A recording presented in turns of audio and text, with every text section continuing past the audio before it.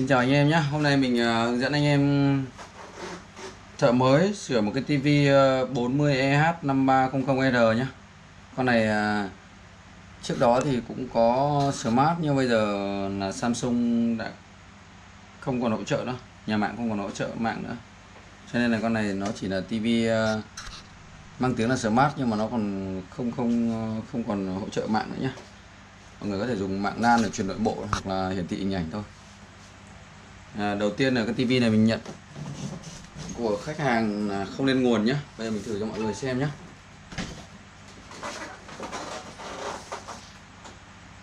mình à, thử cho mọi người xem này. Cắm nguồn này. Đấy. Hiện tại là không lên nguồn này. Đúng không ạ? Rồi không lên không có đèn đỏ luôn nhé bệnh này thì ờ, theo mình dự đoán thì 90 phần trăm là nguồn. Bây giờ mình bắt đầu tiến hành ờ, tháo ra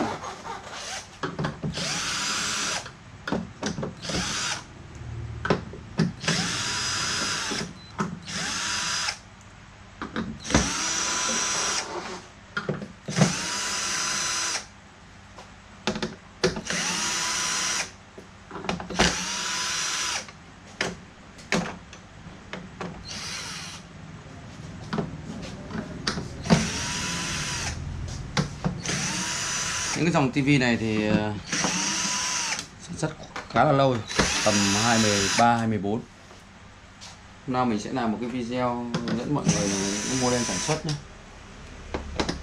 Của đời nào, năm nào. Hôm nay nhân tiện đây thì mình làm thử cái video. Nếu mà ai quan tâm thì đăng ký kênh nhé.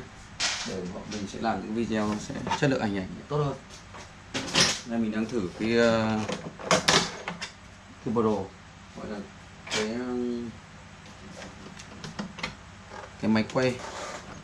Đấy mình mọi người rút cái này ra cái model này mọi người rút ra nhé không là sẽ bị gây tự tượng gãy.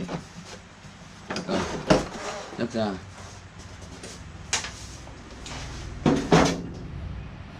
Buổi tối mình rảnh rảnh thì mình làm những cái video để hướng dẫn mọi người với những cái kiến thức kinh nghiệm của mình đầu tiên mọi người đối với TV Samsung mọi người rút cái này ra nhé rút cái tắc nguồn của bo chính ra.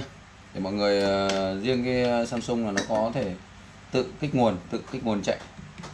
Đấy mình rút ra cái này nó sẽ đồng nghĩa với nó là đóng để mà có lệnh cho cho bo nguồn có thể hoạt động được uh, khối nét. Khối nét đây là jack nét nhá. Jack uh, nuôi backlight hay còn gọi là led cho nó dễ phần nguồn chính tự tách ra nhá. Bây giờ mình thử xem nào. Nó có lên không nhá? Nó chắc chắn là nó sẽ không lên rồi nhưng mà mình cứ thử lại cho chắc ăn. Đây. Đấy à đây rồi. Mọi người nhìn thấy chưa? Cầu chì đã bị lổ này. Cầu chì đã bị lổ đúng không ạ? Rồi. Cầu chì đã bị lổ. Thì bây giờ mình sẽ tiến hành các bước. À, thứ nhất là mình phải đo nhé nhất là anh em thợ dù là biết cầu chì lổ hay chưa lổ thì mình cứ chắc ăn cẩn thận là mình để thang nhân một nhé Đấy thang nhân một này. Đây mình để thang nhân một này. Đấy. Rồi. Mình để thang nhân một mình chập kim này. Mình đo không vấn đây gì nhá. Tức là tóm lại là không không không không thấy chập. Tức là thực ra cầu chì đứt rồi này. Cầu chì đứt đúng không ạ? Rồi ok cầu chì đứt này. Mình uh, nếu là cầu chì đứt thì mình sẽ phải kiểm tra đến sò sò nhá ở đây nó có cái cái sò. À, mọi người nhìn thấy không? Con sò này thì đấy nhá mọi người xem mình. Đấy nhá sò nhá. Mọi người nhìn rõ chưa nhỉ? Mình đo sẽ ui chập thẳng cẳng đấy nhá mọi người. Đã chập này thì chắc chắn là lỗ cầu trì rồi nhưng mình cứ lên đã là người thợ thì mình nên đo cho nó chắc ăn cho nó chắc chắn. Đúng không chập bây giờ thì mọi người sẽ biết rằng là nó nằm ở cái khối nào rồi. Khối nguồn nó là điều chắc chắn rồi. À, qua đây nữa thì mình cũng đo thêm luôn cái nguồn led. Nguồn của led. Led bây giờ mình à, nhìn thấy đây nó là hai vế này. Nó chắc là nó sẽ chạy hai dây, hai dây đen và hai dây xanh. Mình đo mà nó không thấy nó chập tức là đó. Không chập nhá. Không chập. Ok.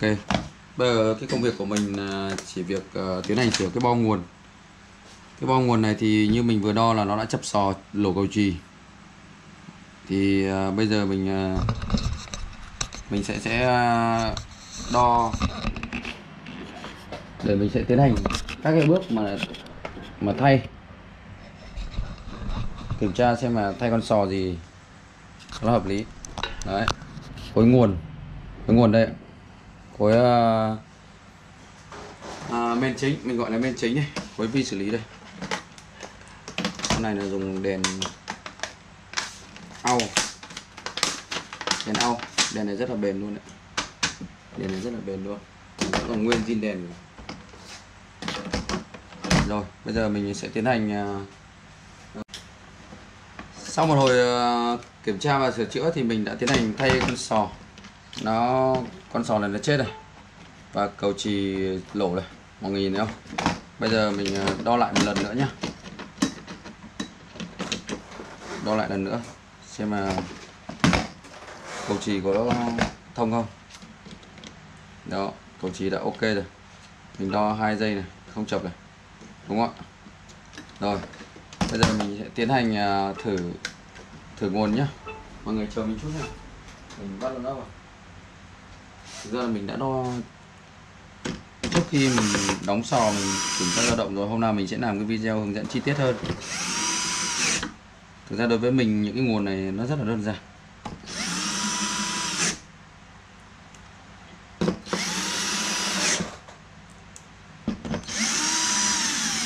Rồi, bây giờ mọi người uh, cắm rắc nét vào. Cắm rắc nét vào và mình cắm nguồn xem màn nó đã sáng chưa? Mọi người à, xem nhá. Thực ra là theo cái phép đo của mình 99% là nó sáng rồi. Đối với một người thợ là trước khi cắm là phải à, chắc chắn. Phải chắc chắn. Bây giờ mình xem lại xem còn sai cái gì nữa không? Chắc là không sai cái gì nữa. Bao gồm ok. Mình đã thử rồi à, mình nên ờ, là người thợ đều mình nên ờ, suy nghĩ lại trước vài giây xong bắt đầu đó mình cắm nhé nó cẩn thận.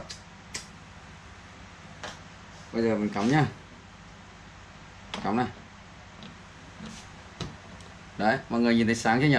Sáng nét chưa? Trước mắt là mình sẽ thấy sáng nét bình thường rồi. Đúng không? Mình bỏ đồng hồ ra, đây mọi người nhìn nhé đó đối với nguồn Samsung mà mình đây mọi người nhìn thấy rõ nhỉ? Mà nó xanh sáng mờ rồi đấy. Đúng không? Bây giờ bắt đầu mình mới tiến hành à. theo đối với nguồn Samsung, mọi người khi mà nó nó chạy à, thì mọi người rút bom men ra thì nó tự à, có một lệnh đóng cho cho vo nguồn rồi. Để cho nó tự khởi động cao áp rồi. Bây giờ mình rút nguồn ra này.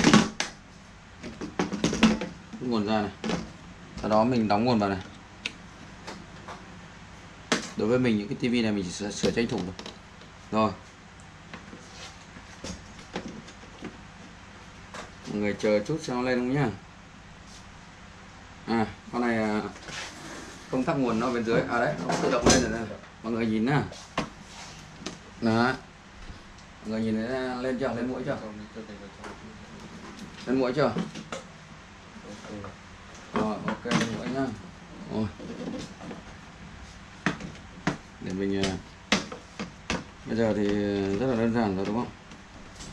Các cái nguồn là mình đã kiểm tra trước. Rồi ok, bây giờ mình à, sẽ tiến hành đóng vỏ luôn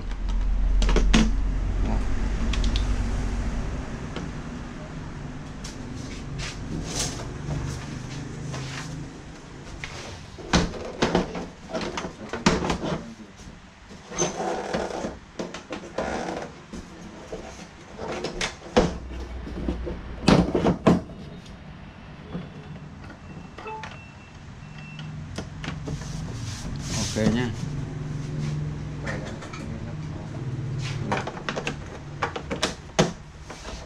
mọi người lưu ý là lắp cái rắc uh, của cái của cái bo mắt nhận và loa nhé rất nhiều người thợ là cũng hay quên. Bản thân mình thì cũng vài lần rồi. Cho nên là mình mới nhớ ra. Nguyên tắc của người thợ thì mọi người bắt những cái ốc nào mình biết trước còn những ốc nào mình chưa biết thì bắt ở sau nhé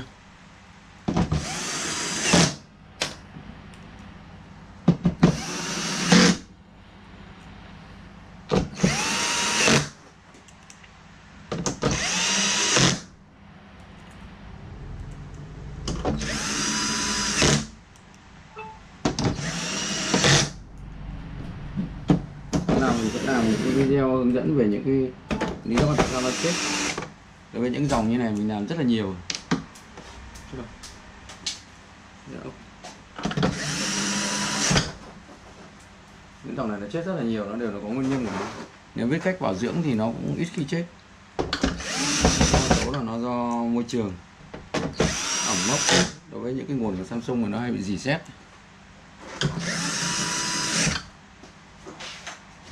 Con này thực ra mình nhận máy này là của khách hàng đã có một người thợ đã làm rồi. Nhưng mà chắc là họ loay hoay, làm không làm được. Thì ông anh ông gọi điện cho mình luôn. Bây giờ các khâu gần như là đã xong 90 phần trăm. Bây giờ mình thử nhá. Trong điện này. Đó. Đấy, con này nó vẫn hiện smart tv này. Nhưng mà con này sẽ không có mạng nhé Đấy, mọi người nhìn thấy chưa? Đối với mình ờ, có anh em thợ đi lấy về, đây lấy máy về thì mình thường hướng dẫn anh em thợ là phải có chữ ký của khách hàng nhé. Có chữ ký của khách hàng. Đó. Mọi người có nhìn thấy chữ ký không nhỉ? Đây, chữ ký ở góc màn hình này. Đấy. Đấy, cho nó công khai rõ ràng. Đấy, chữ ký đấy đây, thường thường là ký khoảng hai, ba góc, nhưng đây, thợ của mình rất là chắc ăn luôn, ký ba góc. Bốn góc luôn. Rồi, ok. Bây giờ mình sẽ tiến hành à, test âm thanh nhá. Test âm thanh. Âm thanh hình ảnh nhá. Đối với những người thợ thì chắc là không cần phải à, dùng đến à, điều khiển, đúng không? Đó. Tích tích trên này, tích là âm thanh đã tốt rồi, nhưng mình cứ kiểm tra lại cho các chắc ăn. Tự chuẩn đoán này kiểm tra hình ảnh này hình ảnh ok nhé con này đèn cũng còn khá là được. Rồi. Bây giờ mình kiểm tra âm thanh nhé âm thanh thì tách tách rồi mọi người không cần phải kiểm tra lại đúng không? Thôi ok rồi.